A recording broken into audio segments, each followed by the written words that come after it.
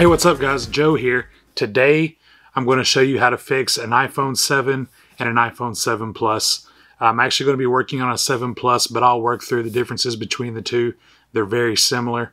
Um, yeah, so let's get started. Now, as always with any repair, you'll want to power off the device if possible. Use your pentalobe screwdriver and remove the bottom screws. These screws hold down the screen.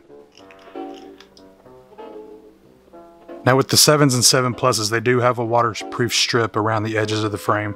So you'll need your heat gun. Just add a little heat around the frame, soften up that adhesive. Use your guitar pick to get in between the screen and the frame and work your way around, separating the screen from the frame. You want to work up each side. Now the top has a different kind of clip that slides into the frame like that. So what you'll have to do is work the frame out down this is the 7 Plus. The iPhone 7 is the exact same so far. We're going to remove the shield plate that holds the battery connection and the screen connection. Then this shield plate that holds the front camera and earpiece speaker. Both of these are Y-bit screws. If you're doing the iPhone 7, this shield plate for the front camera will be Phillips head.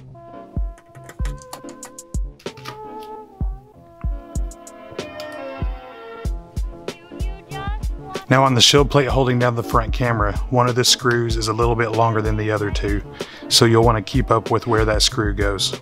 If you have the iFixit repair kit, the driver set comes with a lid that you can separate the screws to keep up with which goes where. And I recommend using that to your advantage. Now first you'll want to disconnect the battery and then you can disconnect the screen and the front camera.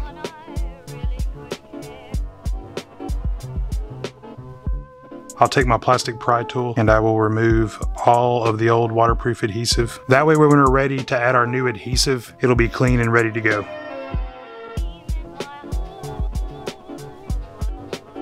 Now with our frame nice and clean, we'll set that aside and we'll begin removing the components from the old screen. I'll use my Y-bit to remove the shield plate that holds the home button down. All of those screws are the same, so you don't have to worry about getting them mixed up. On the 7 Plus, there's a Phillips screw right here holding down the shield plate to the screen. That screw is not there if you're on the regular 7. Otherwise, the rest of this repair is the exact same. The screws for the front camera and earpiece speaker are all different sizes, so make sure you use the iFixit lid. I'll remove the earpiece speaker and disconnect my home button.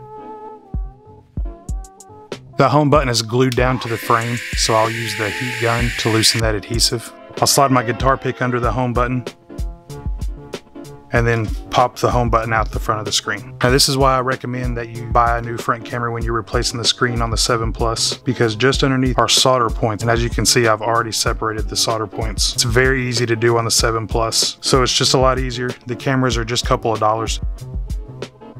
You want to line up the two negative spaces beside the copper contacts with the two nubs on the phone. Push down the microphone onto the adhesive on the new screen.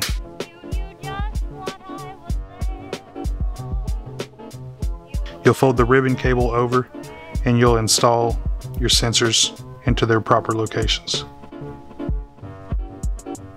I'll put the earpiece speaker in, fold the camera over hold the ribbon cable down and get the shield plate to hold them in place.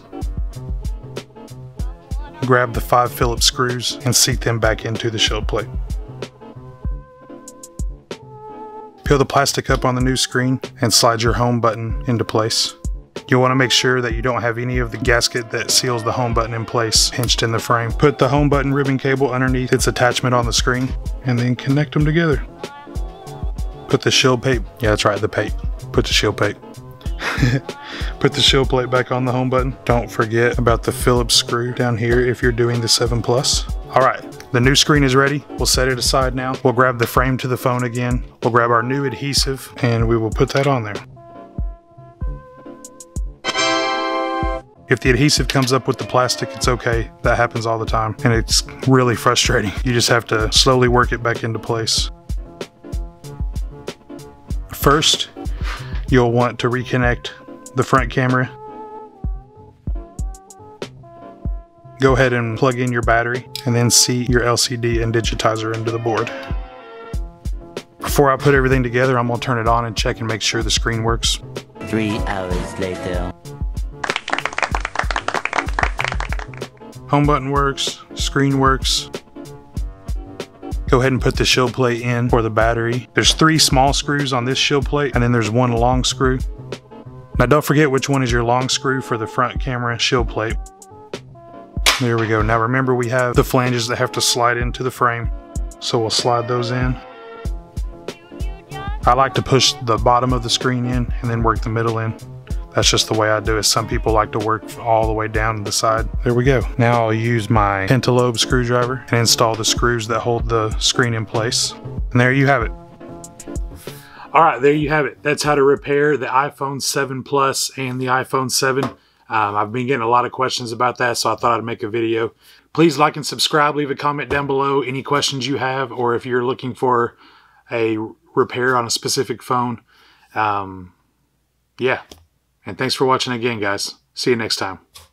Peace.